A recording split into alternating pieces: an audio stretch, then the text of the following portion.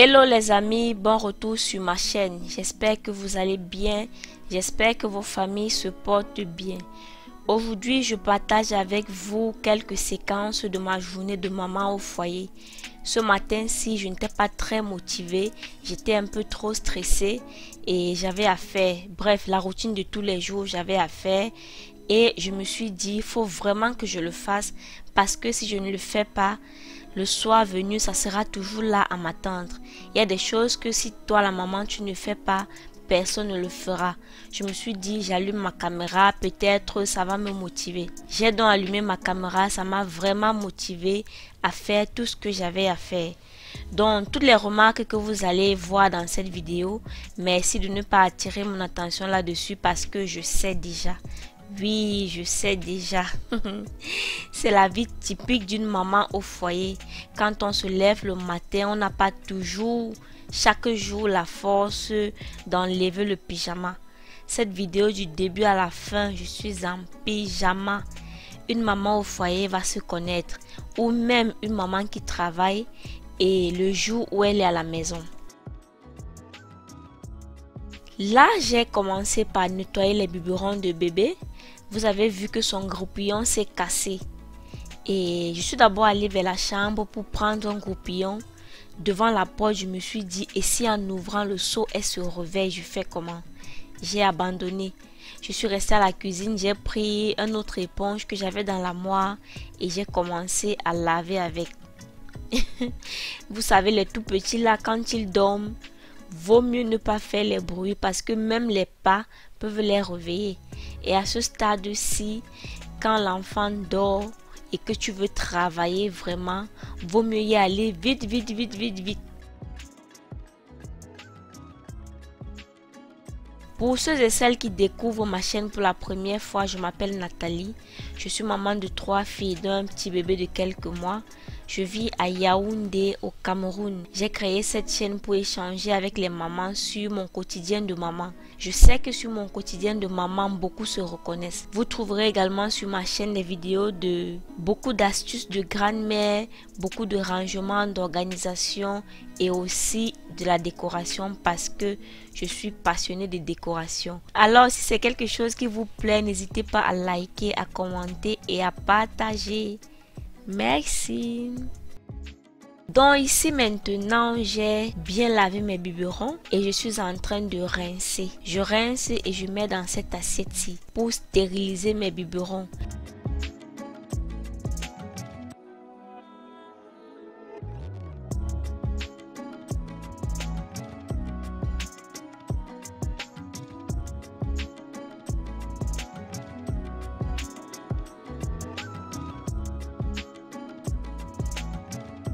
Et pendant que l'eau était en train de bouillir, je me suis servi.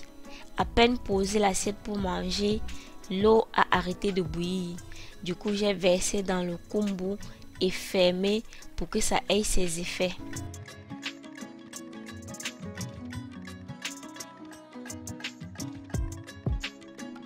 Ensuite, j'ai enlevé la bouloire et rangé parce que le rangement, c'est la base pour garder une maison propre et ordonnée. Puis je suis venue pour manger. J'ai mangé vraiment vite fait. Les mamans, hein, les mamans mangent vite.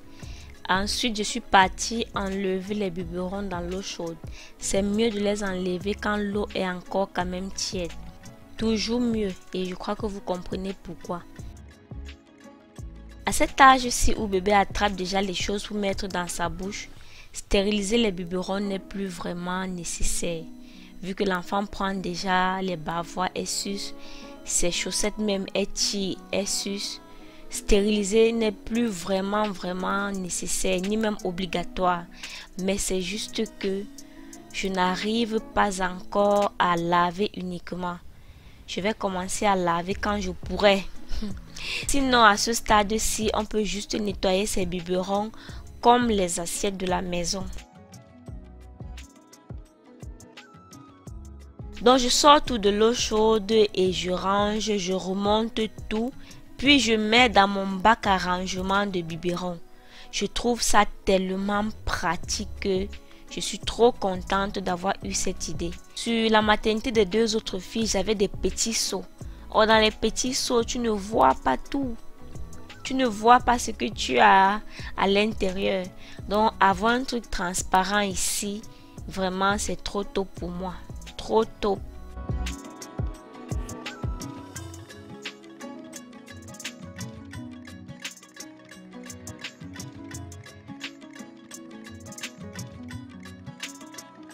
Maintenant que j'ai fini avec les biberons de bébé, bon, il est à noter que à la cuisine, j'ai juste débarrassé et nettoyé.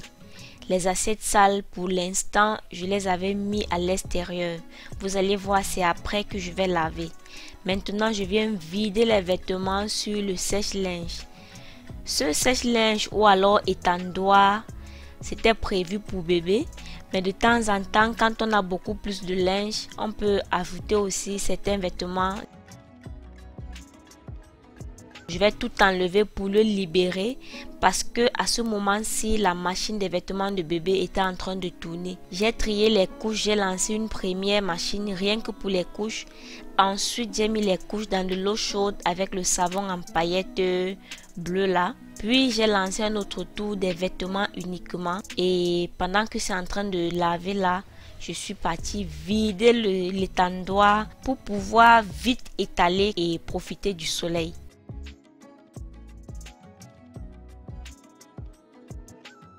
Je vais directement dans la chambre prendre les vêtements de bébé, apprêter tout pour son hygiène, pour lui donner le bain. Cette vidéo, les amis, je ne vous ai pas tout montré de cette journée. Je précise bien, je ne vous ai montré que les séquences de ma journée parce que bébé m'a interrompu tellement de fois jusqu'à ce que je la lave pour qu'elle dorme. Quand elle s'est réveillée là, j'ai dit cette fois-ci, je pars seulement te laver. Pendant que j'apprêtais tout ça, elle était couchée à côté. Hein. elle était couchée à côté dans son couffin. Une fois tout apprêté, bébé est grippé. Voilà pourquoi vous voyez physiodose là-bas. Ça me sert pour nettoyer son nez. Ce sont des sérums physiologiques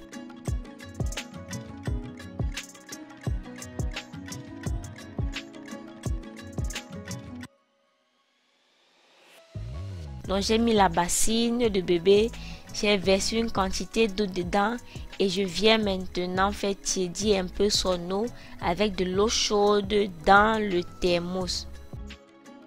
Je déshabille bébé et je lui donne son bain. Son savon en liquide est fini depuis et j'ai commencé déjà à utiliser le savon chat et c'est toujours savon chat, mayanga blanc et eau de colonne. Vous avez vu sur le lit tout ce que j'utilise sur bébé. C'est tout. Donc après l'avoir lavé, je l'habille et je viens peigner ses cheveux qui sont exactement comme les miens quand j'avais son âge. Quand j'étais petite, c'était ça mes cheveux. exactement comme ça. J'ai vu les photos. Exactement. Donc, je l'ai lavé, je l'ai habillé. J'aime beaucoup lui mettre cette robe-ci parce que la robe me plaît et je sais que dans peu de temps, la robe ne va plus lui aller. Du coup, tant qu'elle est propre, je lui mets. Je lui mets pour qu'elle puisse quand même enjoy avant que ça ne serre. Donc, j'ai nettoyé le nez de bébé avec physiodose. Ce sérum physiologique-ci, ça me plaît beaucoup parce que ça a la pression. Dès que tu inclines l'enfant, tu appuies, poup, ça sort de l'autre côté. Tu essuies, tu réinclines l'enfant, tu appuies encore. Ça nettoie bien le nez de l'enfant et ça libère le bébé. Après ça, je l'ai calmé, je l'ai baissé, mais je lui avais déjà donné le sein avant de la laver. Sinon, elle allait crier pendant que je la lavais.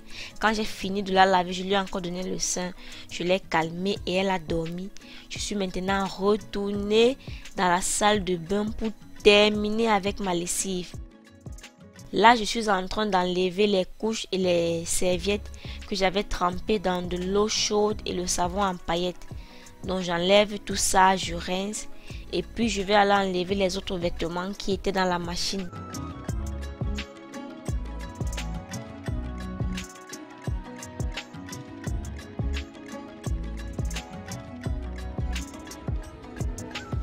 Après avoir terminé avec les vêtements de bébé, je vais maintenant mettre mes draps parce que j'avais des draps sales.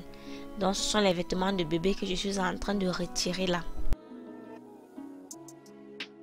Cette vidéo est pour motiver les mamans, pour nous motiver à non seulement savoir se reposer, surtout à écouter notre corps et à nous ménager parce que c'est très important de se reposer. C'est vrai qu'il y a beaucoup de choses que si on ne le fait pas, personne ne le fera à notre place.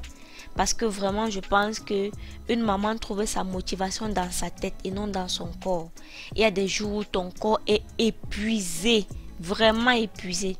Tu veux même te coucher, mais ta tête te dit, gars, mieux tu te lèves, non, tu finis vite avant de dormir. Parce que si tu ne le fais pas, tu vas dormir, revenir trouver ça là. D'où l'importance d'avoir des routines. Les routines fatiguent moins. Et organiser le ménage par jour. Lundi, tu peux faire les toilettes. Mardi, tu fais la cuisine. Mercredi, le salon. Jeudi, la lessive. Sachant qu'il y a des choses qu'on fait tous les jours. Donc, c'est bon d'avoir une organisation, qu'on soit maman au foyer ou bien une maman qui travaille. Et aussi, je dis toujours, apprenons à bien nous reposer. Prenons nos vitamines pour booster nos forces et soignons-nous quand on est malade parce que nos bébés ont besoin des mamans en bonne forme. Quand je sens seulement petite maladie, de toute façon, je repousse avec la prière. Je cours vite me soigner parce que si je me couche pendant 2, 3, 4, 5 jours, oh Seigneur, ma famille.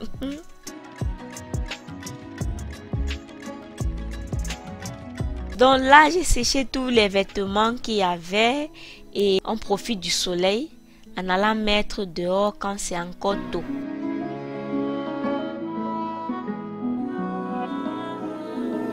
Et sur ce sèche-linge-ci, il n'y avait que les vêtements des filles qui étaient déjà secs. Je me suis rendu compte en les touchant que c'était déjà bien sec. Or, en enlevant la veille, ce n'était pas très très sec. Donc ça a séché toute la nuit. Il ne reste plus qu'à plier. Mais avant de m'attaquer au linge, je préfère finir de nettoyer les toilettes parce que les filles sont passées là le matin pour se nettoyer. Elles ont fait de la saleté.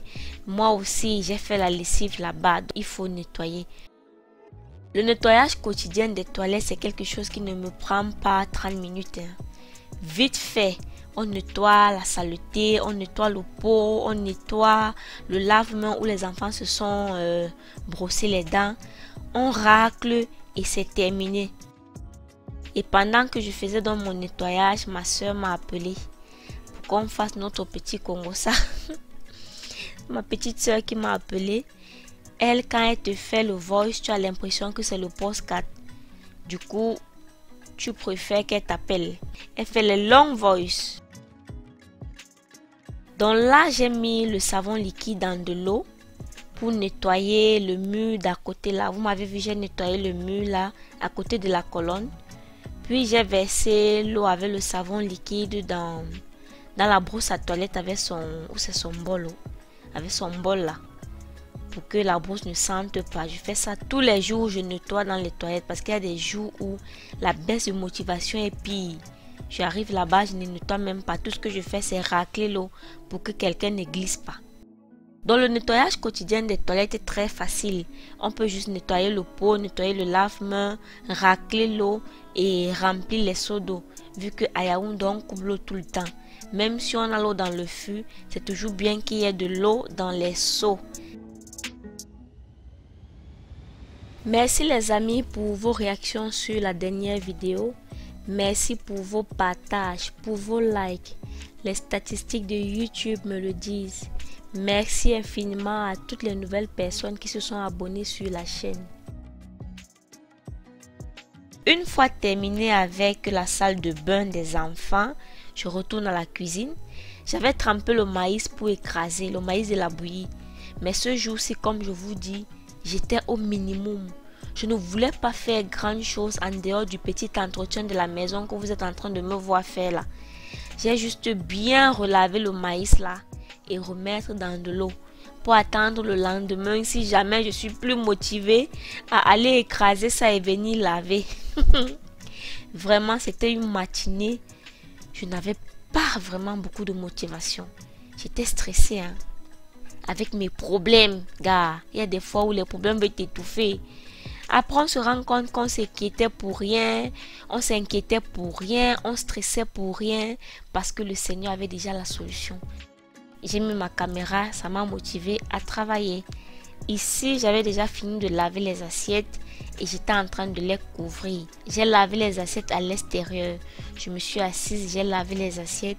Bébé s'est même réveillé, elle m'a encore interrompu. Je l'ai calmée, elle a dormi. Je suis rentrée, terminée avec les assiettes et je range direct parce que si je déposais ça comme ça pour dire que je reviens, une journée comme ça où tu as la flemme de tout, tu ne vas plus revenir dessus.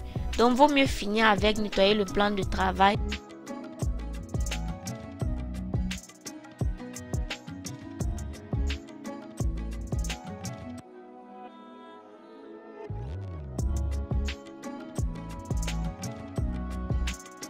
Chaque travail mérite sa paye. Lola, c'était la paye comme ça.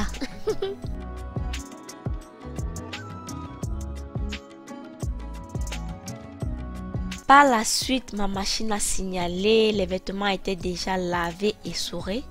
Je viens donc à l'extérieur les étaler.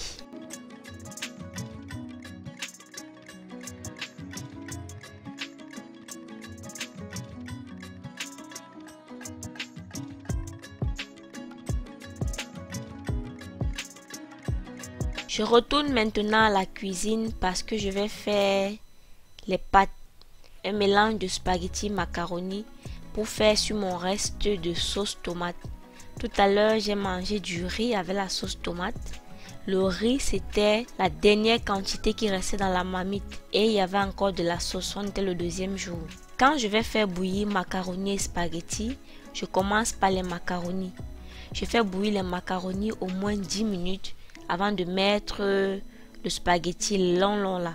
Parce que quand je mettais les deux à la fois, les macaronis n'étaient jamais vraiment cuits comme je voulais.